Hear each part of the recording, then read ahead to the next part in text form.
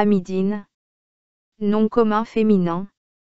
Dans le domaine de la chimie, substance opaque ou semi-transparente, blanche, ou d'un blanc jaunâtre, insipide, inodore, elle se forme lorsqu'on abandonne à lui-même l'emploi d'amidon à la température de l'atmosphère.